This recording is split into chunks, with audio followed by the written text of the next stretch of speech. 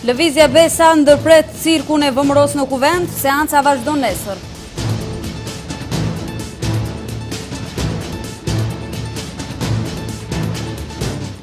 VMRO-ja propozon marrëveshje mbipartiake për dalje nga kriza, LSDM-ja thekson se Gruevski nuk është më faktor.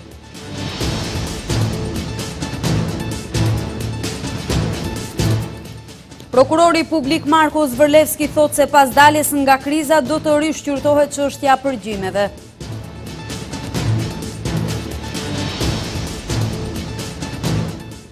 Prokuroria speciale është ankuar edhe për dy gjykatës të gjykatës themelore.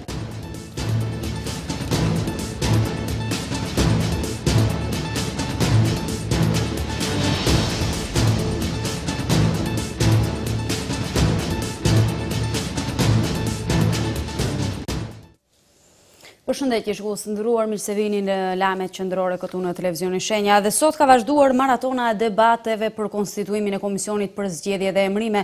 Aty u fol për gjithçka por më së paku për këtë pikë. Në një moment ishte Lëvizja Besa ajo që ndërpreu cirkun parlamentar dhe thirri në një mbledhje koordinuese partitë e tjera parlamentare, por partitë më të mëdha maqedonase përsëri nuk gjetën gjuhë të përbashkët dhe iu rikthyen polemikave ku temë kryesore ishte deklarata e partive shqiptare. Ndërkohë LSDM-ja ka hedhur poshtë të gjitha spekulimet se Lëvizja Besa po pengon konstituimin e Kuvendit me mospërkrahjen e Xhaferrit për kryetar, duke e quajtur këtë veprim demokratik dhe aspak të dëmshëm. Punën e Kuvendit po e përcjell gazetari ynë Arben Zeqiri, të cilin duhet ta kemi në një lidhje të drejtpërdrejtë. Përshëndetje Arben.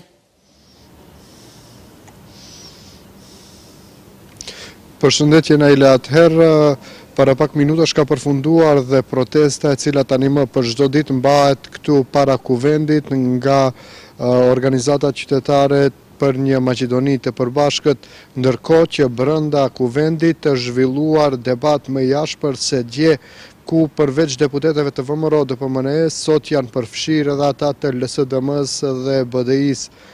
Pika qendrore e debatit të sotëm ishte deklarata e përbashkët e partive shqiptare, e cila vazhdon të quhet nga VMRO-DPMNE-ja si Platforma e Tiranës, ku këta të fundit kanë akuzuar se me këtë deklaratë, Pretendohet të bëhet federalizimi i Maqedonisë, ndërkohë që nga LSDM janë kundërpërgjigjur se kjo deklaratë përdoret vetëm si alibi për VMRO-DPMNE-në, e cila dëshiron në të vërtetë të mbrojë një grup që, siç thanë deputetët e LSDM-së, duhet të ballafaqohen me drejtësinë për krimet që kanë bërë.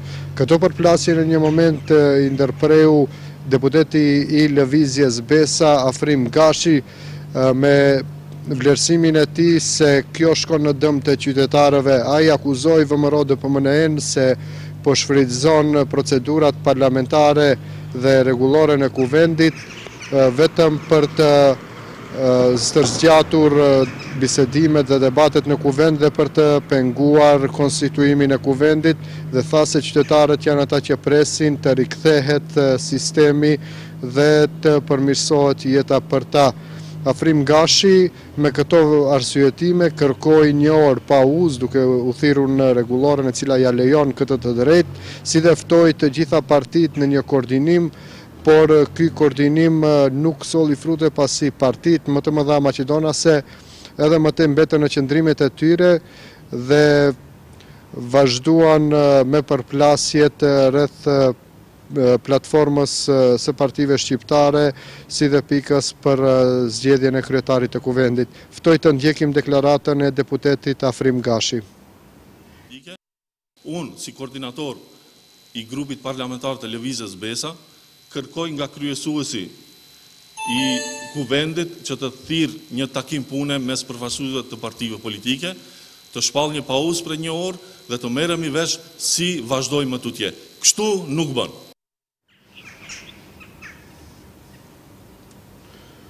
Ndërkohë LSDM ka komentuar edhe qëndrimin e Lëvizjes Besa ndaj kandidimit të deputetit Talat Xhaferi për kryetar të Kuvendit. LSDM ka hedhur të gjitha Pretendimet që janë bërë se ky qëndrim i Lëvizjes Besa pengon konstituimin e Kuvendit dhe funksionimin e sistemit apo organeve të sistemit shtetëror, Petre Shilegov në një konferencë për shtyp duke u përgjigjur në pyetjet e gazetarëve pikërisht për qëndrimin e Lëvizjes Besa kundër Talat Xhaferit, Shilegov tha se kjo është ky është vetëm një akt demokratik dhe nuk pengon aspak funksionimin e institucioneve apo konkretisht institucionit më të lartë ligjvënës në vend. Ftoj të ndjekim deklaratën e deputetit të LSDM-së, Petre Shilegov. Unë, si koordinator i grupit parlamentar, Secila parti politike në kuadër të shumicës qeverisëse, e cila është shumicë parlamentare, ka të drejtë të ketë qëndrim të saj politik për çështje të caktuara. Kjo është demokracia. Kjo është bukuri e dallimeve në mendime. Rreth disa çështjeve mund të kemi pajtueshmëri, rreth disa të tjerave jo. Çështjet më të rëndësishme për të cilat pajtohemi është çmontimi i sistemit kriminal të Nikolla Gruevskit, Ndërprerja e ndjelljes së urrejtjes mes qytetarëve dhe më tutje, të vazhdojmë në qeveri të përbashkët, për reforma në Republikën e Maqedonisë, të cilat do të sjellin jetë më cilësore në shtetin tonë.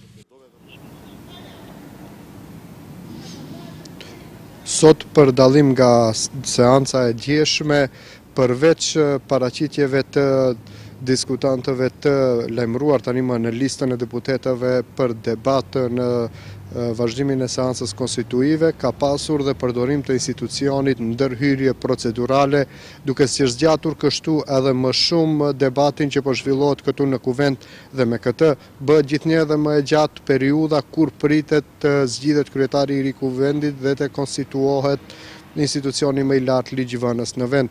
Kujtojmë se dje kanë arritur të përfundojnë diskutimin e tyre vetëm dy deputetë, ndërkohë që sot gjithë debati është zhvilluar edhe më ngadalë dhe debatin, diskutimin e tij nuk arriti ta përfundojë asnjë deputet i vetëm gjatë gjithë ditës, ka diskutuar Ilja Dimovski duke u përgjigjur në replikat e deputetëve bashkëpartiakë të tij, si dhe deputetëve të LSDM-së dhe partive të tjera.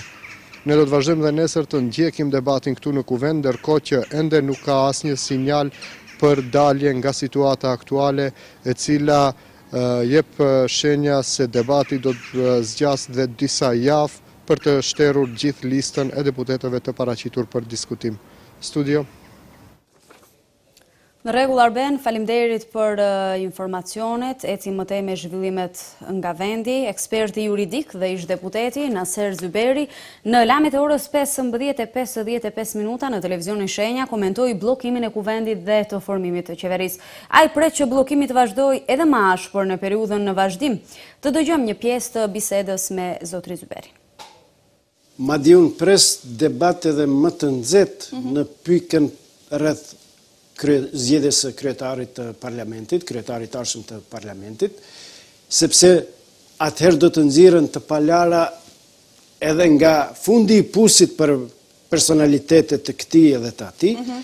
dhe ky debat do të shëndrohet në një cirk të pakuptimt, Në situatë kur Maqedonia ka krizë serioze, krizë institucionale, krizë të sistemit, krizë ekonomike, krizë të integrimeve, krizë sociale, deputetët mbas tre muaj ndërprerje të punës merren me çështje triviale se a do të zgjidhet Komisioni për Zgjedhje dhe Emrime, që është punë krejtësisht teknike. VMRO DPMNE-ja prezantoi platformën që thonë se do të shërbejë për ta nxjerrë vendin nga kriza politike. Deputeti i kësaj partie Antonio Milloshovski thotë se platforma parasheh arritjen e një marrëveshjeje mbipartiake e cila do të merret me zgjidhjen e problemeve të brendshme, por pa i përfshirë agjendat dhe përfaqësuesit e shteteve të tjera. Nga LSDM-ja e quan nga LSDM-ja e quajnë këtë si tentativë për ta faktorizuar Nikolla Gruevskin dhe partinë e tij e cila në fakt është shkaktare e krizës. VMRO-DPMNE ka prezantuar platformën me të cilën kjo parti pretendon t'i jep fund krizës politike dhe të parandalojë kriza të ardhshme. Në platformë theksohet nevoja e patjetërsueshme e krijimit të një marrëveshjeje mbipartiake, e cila do të merret me çështjet e brendshme të Maqedonisë, në kuadër të institucioneve të vendit, pa përzierje të agjendave ose përfaqësuesve të huaj. Deputeti i VMRO-DPMNE-së Antonio Milloshovski gjatë prezantimit të platformës, kundërshtoi edhe idenë për revidimin e Marrëveshjes së Ohrit, Da se usoglasime, Bashkimi i Brendshëm kundër përzierjes së huaj në punët e brendshme të Maqedonisë nga ana e politikanëve të huaj ose shtete të cilat nuk përputhen me konceptin e sovranitetit ose janë në kundërshtim me principin e marrëdhënieve të mira ndërfqinjësore bashkërisht të hedhin planet dhe platformat e huaja ose agjendat që janë jashtë rregullimit tonë kushtetues. Dënim i çdo revizioni direkt ose indirekt të Marrëveshjes së Ohrit i cili është tërësisht i përputhur në Kushtetutën e Maqedonisë. Në platformë thuhet se për çdo çështje të rëndësishme, duhet të ketë ndonjë marrëveshje mbipartiake, duke apeluar deri tek partitë që të merren vesh rreth pesë çështjeve, edhe atë për principin e koalicionimit të fituesit me fituesin, për atë se a janë të pranueshme agjendat e huaja, Se a duhet t'i takojë posti i kryetarit të kuvendit partisë fituese në zgjedhje? A janë pro natyrës unitare të shtetit dhe modelit multinacional dhe nëse janë pro ridefinimit të shtetit? Por zëdhënësi i LSDM-së Petre Shilegov tha se në Maqedoni ka një shumicë të re parlamentare e cila ka marrëveshje për ta çuar vendin para dhe se janë të kota tentimet e Milloshovskit që ta bëjë Nikolla Gruevskin faktor stabiliteti. Nitu Gruevski Gruevski nuk është më faktor në Maqedoni. Politikanët si Gruevski si dhe udhëheqësia e VMRO-së që kanë sjellur vendin në këtë gjendje, nuk janë pjesë e zgjidhjes së problemeve. VMRO të kuptojë se janë opozitë dhe të mos pengojë proceset. Në Maqedoni do të ketë një qeveri të re, pa Gruevskin dhe pa VMRO-DPMNE-në. Apeloj deri tek VMRO-DPMNE-ja, që të mësohet me faktin e të qenit opozitë dhe të mos i bllokojë proceset demokratike të shtetit. Kryeministri i Serbisë Aleksandar Vuçiç ka pas takimit me presidentin e Rusisë Vladimir Putin ka deklaruar se situata në rajon ka qenë një ndër temat më kryesore për të cilën kanë biseduar ata. Forcat e mëdha përsëri po masin fuqitë e tyre në këto hapësira, për këtë shkak është shumë logjike që situata në rajon ishte tema për të cilën Kemi biseduar më gjatë me presidentin e Rusisë, ka thënë Vuçiç. Sipas tij, Putin ka shprehur shqetësimin e tij për stabilitetin në rajon. I pyetur në lidhje me situatën në Maqedoni, Vuçiç ka thënë se qëndrimi i Putinit ka qenë i qartë dhe i njëjti qëndrim disa herë është shprehur edhe nga ministri i Punëve të Jashtme të Rusisë, Sergej Lavrov. Mendoj se janë të shqetësuar dhe këtë mund ta shpjegoj në mënyrë se forcat perëndimore përkrahin qeverinë e Zoran Zaevit dhe partive shqiptare, aq më duket se presidenti rus nuk është në atë anë, ka thënë Vuçiç.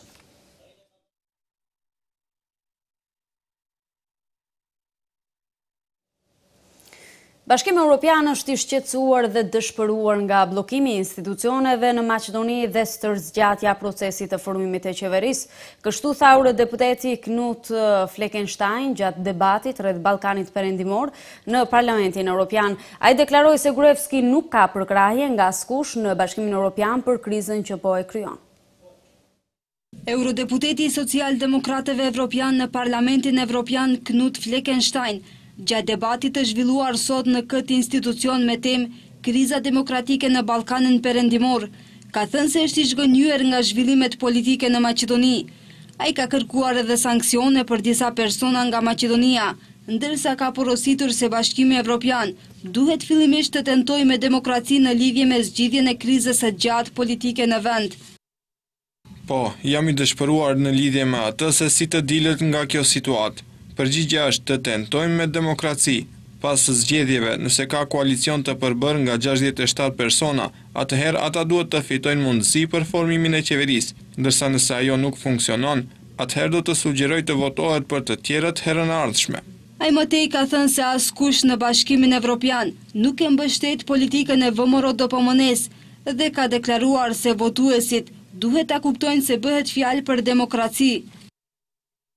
Siç e dini, VMRO-DPMNE nuk dëshiron të tërhiqet. Për këtë arsye, unë mendoj se votuesit duhet të dinë se askush në BE, madje as në Partinë Evropiane të Gruevskit, nuk e mbështet atë politikë.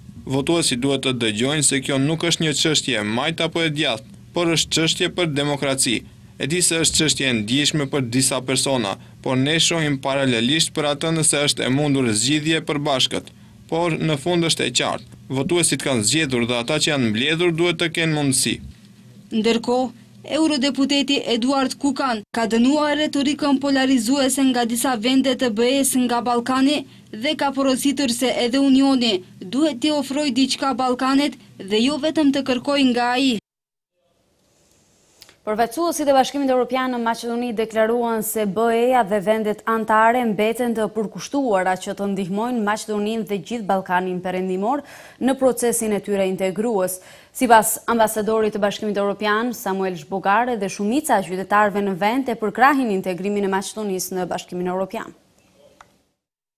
Bashkimi Evropian mbetet i interesuar dhe përkushtuar në integrimet evropiane të Maqedonisë, kështu kanë deklaruar sot ambasadori i BE-së në Shkup, Samuel Zhbogar dhe ai i Italisë, Carlo Romeo, gjatë hapjes së ekspozitës Një Evropë gjithnjë e më e bashkuar me rastin e përvjetorit të nënshkrimit të Traktateve të Romës.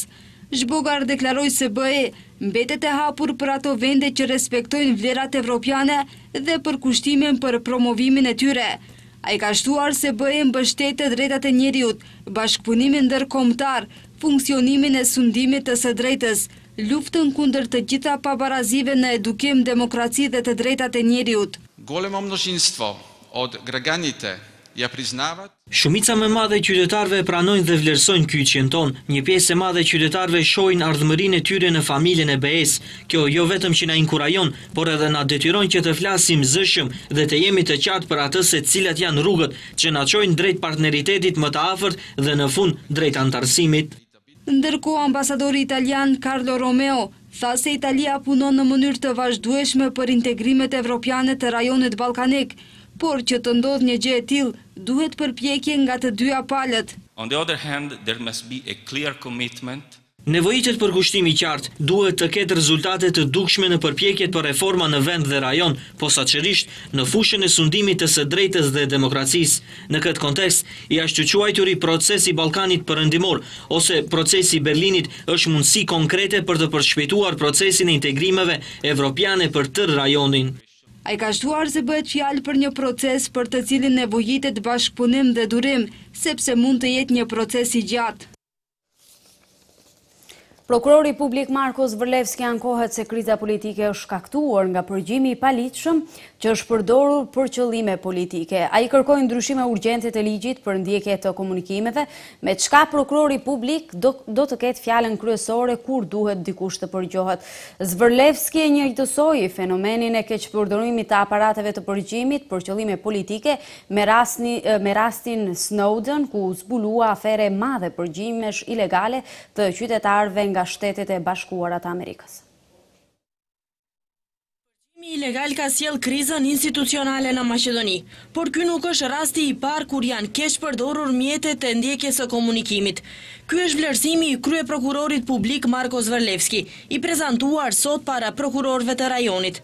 Zvërlevski fjalimin e tij kryesisht e shfrytëzoi për apel që Ligji për Ndjekjen e Komunikimeve të ndryshohet, duke i ofruar prokurorit më shumë qasje dhe kompetenca, deri tek aparatet e përgjimit, dhe të mos përsëritet situata e njëjtë sikurse tani, kur përgjimi bëhet ekskluzivisht nga policia. Iako so Zakonot za sledenje na komunikaciite e predvideno deka ovlasteni organi Ndonëse me Ligjin për Përndjekje të Komunikimeve është paraparë që organet kompetente për ndjekje të komunikimeve janë Prokurori Publik, Ministria e Punëve të Brendshme dhe Drejtoria për Polici Financiare, madje edhe Drejtoria Doganore, faktikisht ndjekja e komunikimeve mbeti në duart e Ministrisë së Punëve të Brendshme, sepse deri më sot vetëm ata e posedojnë pajisjen e duhur. Këto janë vërejtjet kryesore të bashkësisë ndërkombëtare. Për këto arsye, pa mëdyshje se tërë procesi i ndjekjes së komunikimeve në Republikën e Maqedonisë pas stabilizimit të krizës politike duhet të rikonstruohet. Zvërlevski apeloi që të vendosen mekanizma të fuqishme kontrolli të mjeteve të përgjimit, në mënyrë që ato të mos keqpërdoren nga persona të paautorizuar. Ai përdori rastin e Edward Snowdenit, i cili zbuloi aferën e përgjimit ilegal të shtetit në Amerikë, Për të ilustruar, gjoja keqpërdorimin e aparatit të përgjimit për qëllime politike. Të gjithë ne jemi dëshmitarë të keqpërdorimeve të rënda të kësaj aparature nga ana e agjencive për kundërzbulim dhe vënia e tyre në funksion për qëllime politike. Mundësitë të cilat i ofron teknologjia sot, shpeshherë mund të na habisin edhe neve në aspektin profesional. Afera Snowden është vetëm një prej dëshmive për shkeljen eklatante të të drejtave të njeriut pa pasur asnjë bazë të dyshimit. Apelet Zvorlevski i dërgoi nga Konferenca Ndërkombëtare për Ndjekjen e Komunikimeve, në të cilën ishin ftuar prokurorë publikë dhe zëvendës prokurorë nga Shqipëria, Kosova, Rusia, Turqia, Bullgaria, Sllovenia, Kroacia dhe Bosnjë-Hercegovina, por nuk janë ftuar përfaqësuesit e Prokurorisë Speciale. Prokuroria Speciale Publike i ka dërguar parashtresë këshillit për vërtetimin e fakteve dhe inicimin e procedurës për përgjegjësinë e gjykatësve për dy gjykatës të Gjykatës Themelore Shkup një Shkup. Bëhet fjalë për gjykatësit Elena Ilievska Josifoviç dhe Tatjana Mihajlova ka bërë të ditur Prokuroria Speciale me parashtresat është kërkuar që të inspektohet puna e gjykatësve nga aspekti i kryerjes së funksionit në mënyrë joprofesionale dhe të papërgjegjshme, thonë nga PSP-ja. Prokuroria Speciale ankohet në vazhdimësi për pengesa që krijohen nëpër nivele të ndryshme të sistemit gjyqësor. Gjithashtu, prokuroret e Speciales ankohen për ndikimin e politikës në sistemin gjyqësor.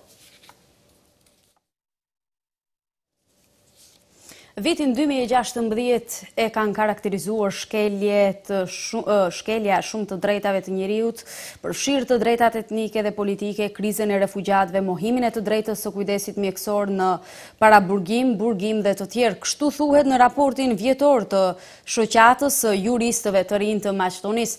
Mosfunksionimi i institucioneve sipas kësaj shoqate pengon edhe adresimin e shkeljeve. Shoqata e Juristëve të Rinj të Maqedonisë promovoi raportin vjetor për efikasitet të mbrojtjes juridike në Republikën e Maqedonisë në vitin dy mijë e gjashtëmbëdhjetë. Në bazë të këtij raporti u prezantuan shkeljet e të drejtave të njeriut që janë vërejtur dhe dokumentuar nga ana e projektit. me theks në diskriminimin në bazë të përkatësisë etnike dhe politike, krizën e refugjatëve, mosofrimi i ndihmës mjekësore në vendet e paraburgimit dhe burgimit, si dhe analizën e efikasitetit të mekanizmave të vendosura me Kushtetutë për mbrojtjen e të drejtave të njeriut. Avokati Lazar Sandev, njëkohësisht dhe anëtar i Shoqatës së Juristëve të Rinj, përmendi disa nga të drejtat që thyhen në vendet e punës nga ana e zyrtarëve shtetërorë. Këtu më shumë theksi vendoset tek përdorimi i të drejtave të njeriut në vendet e tyre të punës, sepse siç e dini, sipas ligjit, zyrtarët shtetërorë nuk e kanë atë të drejtë që gjatë një dite pune ta shfaqin përkatësinë e tyre politike në punën të cilën e kryejnë, pa dallim nëse bëhet fjalë për të punësuar në administratën shtetërore apo në ndërmarrje private, pra në sektorin privat. Në këtë kontekst, Sot duam t'i tregojmë mangësitë ligjore të cilat gjykatat nuk i shikojnë edhe pse duhet ta bëjnë të njëjtën. Ndërsa avokati Goce Kocevski tha se në Maqedoni kanë vërejtur shumë thyerje të të drejtave të njeriut, por adresimi i tyre në vendet kompetente tani është edhe më i vështirë, kur nuk kemi as qeveri dhe kemi stagnim të institucioneve. Kërkoj të pravur Krujë nga Maqedonia se Brana të vuajtën si sistem. Të drejtat e njeriut në Maqedoni mbrohen në një sistem dhe ky sistem mund të shihet si i izoluar nga rrethanat që kanë ndikim në to. Gjithashtu, ka dhe reagime në realizimin e këtyre të drejtave, si për shembull, unë do t'i përmendja të drejtat të cilat realizohen nga procedurat administrative, Ato të drejta realizohen nga ministritë kompetente dhe kur kemi situata të këtilla, kur nuk ekziston qeveri më shumë se një vit ose kur gjatë gjithë kohës ndryshohen ministrat, zëvendësministrat apo ndihmësit e tyre, atëherë kemi stagnim. Ky projekt është punuar në kuadër të projektit të USAID-it për mbrojtjen e të drejtave të njeriut, përmes kapaciteteve të avokatëve dhe juristëve të rinj, Projekti mundëson mbrojtje juridike të personave të cilat konsiderojnë se të drejtat e tyre njerëzore janë shkelur me qëllim të vendosjes së praktikës adekuate rreth kësaj çështje. Ndërrojmë temë, deponitë ilegale edhe më tej vazhdojnë të jenë një ndër problemet kryesore në Tetovë. Një tjetër deponi po ngulfat hapësirat e kësaj komune edhe atë në hyrje të qytetit. Nga organizata ambientaliste Eko Guerrilla thonë se janë drejtuar edhe në komunë për këtë problem, por deri tani nuk kanë ndërmarrë asgjë. Deponitë vazhdojnë të ngulfasin komunën e Tetovës ndërsa kjo ndodh në çdo hapësirë të mundshme. Në hyrje të këtij qyteti, tanimë mirëseardhjen e parë ta bëjnë mbeturinat mbi urën e cila ndodhet para vendit të quajtur Monopol. Për përhapjen e deponisë, shqetësim kanë ngritur nga organizata joqeveritare Ekoguerilla. Arianit Xhaferri deklaron se kjo deponi e sapokrijuar kërcënon qytetarët e Tetovës. Në afërsi të këtij vendi ku jemi ne, këtu mbrapa kemi një një një furrë të bukës, fabrikë të bukës. Nga ana tjetër kemi çerdhen e fëmijëve. Ëë andej është tregu i frutave dhe perimeve. Domethënë Qytetarët e Tetovës ushqehen nga kjo zonë dhe insekte të ndryshme, po edhe shpezë të ndryshme bartin sëmundje të ndryshme nga këto mbeturinat tek frutat tona në në në tregun e gjelbërt dhe ndoshta ndoshta edhe ke buka të cilën e konsumojmë çdo ditë. Arianit Xhaferi thotë se qytetarët e Tetovës turpërohen me këtë pamje e cila i pret mysafirët në Tetovë. Ai thotë se para një jave i kanë njoftuar autoritetet e komunës që t'i largojnë, por ende nuk është ndërmarrë asgjë konkrete. Siç thashë pamjet flasin vetë, ndërkohë që ne akoma presim që ndërmarrja publike komunale dhe Komuna e Tetovës do i mbahen zotimeve se në fillim të prillit kjo do fillojë të pastrohet përfundimisht dhe këtu më nuk do ketë deponi. Pra na ka ngelur të presim edhe edhe më pak si një javë për të parë nëse kjo do ndodhë ose jo. Nga Eko Guerrilla, Xhaferi thotë se kanë informata që këto mbeturina i kanë hedhur kompani private dhe kompani të cilat menaxhojnë mbeturinat në komunat rreth Tetovës. Zëvendës ndihmës sekretari i shtetit amerikan, Hojt Brian Yee ka filluar vizitën dy ditore në Kosovë.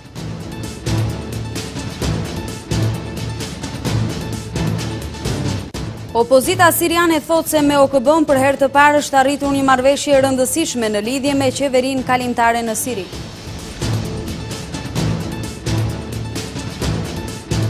Vazhdojmë me zhvillimet rajon botë, zëvendës ndihmës sekretari i shtetit përgjegjës për çështjet europiane dhe euroaziatike, Hojt Brian Yee, ka filluar vizitën dy ditore në Kosovë.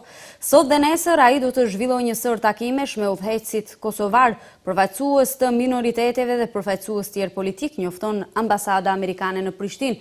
Sot ai pritet të zhvillojë takime të ndara me kryetarin e Kuvendit, Kadri Veseli, pastaj me zëvendëskryeministrin, Branimir Stojanoviq dhe udhëheqësin e grupit parlamentar Lista Sërbe, Sllavko Simiq, pastaj me ministren për Dialog, Edita Tahiri dhe ministrin e FSK-së, Haki Demolli. Vizita e zëvendës-ndihmëssekretarit të Shtetit po zhvillohet në kohën kur në Kosovë është ndërmarrë nisma për transformimin e Forcës së Sigurisë së Kosovës në forcë me mision ushtarak. Në këtë çështje, institucionet e Kosovës nuk kanë hasur në mbështetjen amerikane për shkak të formës së propozuar për këtë transformim.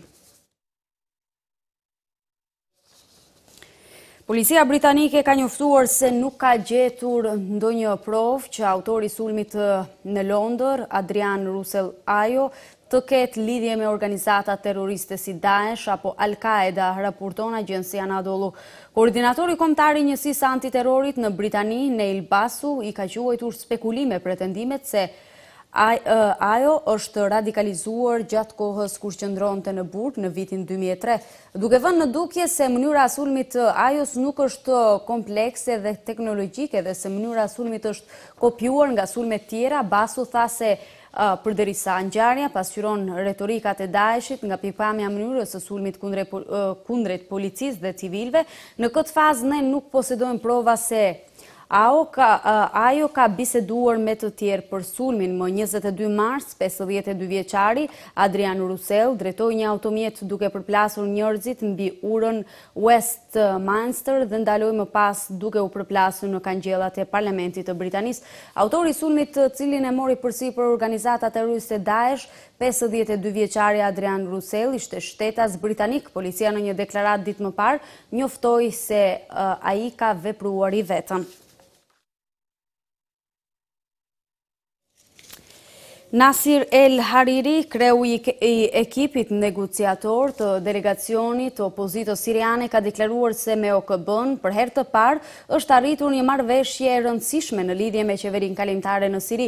Kemi vazhduar me diskutimet për tranzicionin politik dhe procedurat kushtetuese që do të përcaktojnë Të gjithë procesin ka thënë El Hariri. Ai theksoi se regjimi i Assadit vazhdon me sulmet e saj në Siri pavarësisht armëpushimit, për fat të keq, regjimi terrorist i Bashar al-Assadit vazhdon me bombardimet e egra në të gjithë vendin. Gjatë tre ditëve të para të negociatave në Gjenevë, regjimi i Assadit ka vrarë shtatëdhjetë e gjashtë civilë, prej të cilëve katërmbëdhjetë ishin fëmijë dhe njëzet e tetë gra, tha al-Hariri. Armëpushimi në Siri u arrit me ndërmjetësimin e Turqisë dhe Rusisë më tridhjetë dhjetor. Forcat e regjimit kanë vazhduar sulmet dhe krimet kundër civilëve, kurse forcat e opozitës siriane në ditët e fundit filluan t'u kundërpërgjigjen sulmet ndaj pozicioneve të regjimit. Delegacioni i opozitës siriane nuk ka marrë pjesë në bisedimet e javës së kaluar në Astana dhe arsye për këtë kanë theksuar se forcat e regjimit nuk respektojnë armëpushimin. Në Kombet e Bashkuara ka filluar një takim me pjesëmarrjen e njëqind e njëzet e tre shteteve për të diskutuar për ndalesën globale të armatimit atomik, megjithëqë fuqitë kryesore botërore e kanë bojkotuar këtë takim, derisa shtetet pjesëmarrëse përpiqen të zhvillojnë negociata për atë që ata e shohin si ndalim juridik bërthamor, Shtetet e Bashkuara, Rusia, Kina dhe shtetet tjera me armatim atomik e kanë bojkotuar takimin i cili ka filluar mbrëmë. Ambasadori amerikane në Kombet e Bashkuara, Nikki Haley, tha se para fillimit të këtyre bisedimeve, ndalesa do t'i çarmatoste shtetet që përpiqen të ruajnë sigurinë dhe paqen, ndërsa aktorët e këqinj nuk do të nënshkruan ose nuk do të bashkëpunonin.